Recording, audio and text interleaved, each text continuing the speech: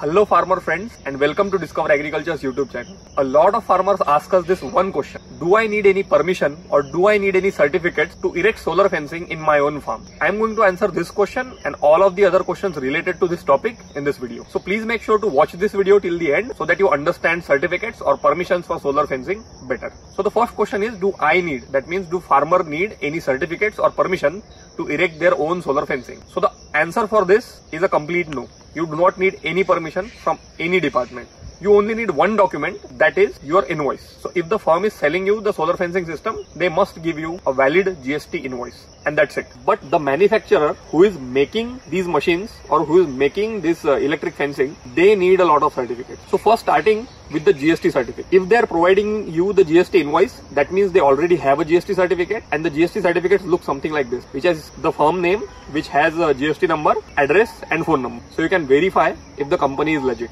The second certificate is ISO certificate. This does not tell anything about the product. This only shows that the company operates at higher quality. So the first certificate that gives us a valid information about product is called as ROHS, which stands for Restrictions of Hazardous Substances Directives. This certificate comes from European Union. That means the products that are the electronics products that are sold within the Europe, uh, it is important to have this certificate so that uh, the hazardous components are not used at all.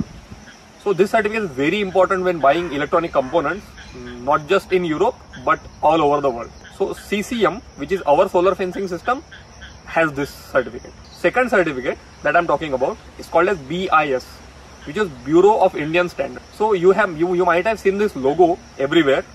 It is also on uh, gold. It is also on food products. It is also on a lot of uh, smartphones that you buy or any other electronic product. This is the highest standard of quality in India. So this is our certificate of CCM solar fencing, which is a 70 page document. It's a complete lab report and you can have a look at uh, that here.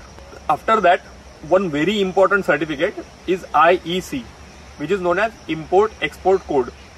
So if a company is doing business outside of India, then that means that they do support all the other standards that are available worldwide.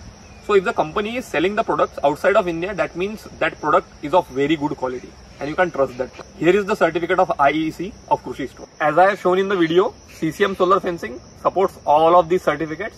That means you can trust this product and if you have any other questions other than certificates, you can contact our agents. The numbers are given on the screen. Thanks for watching this Discover Agriculture video and we will talk to you in the next one.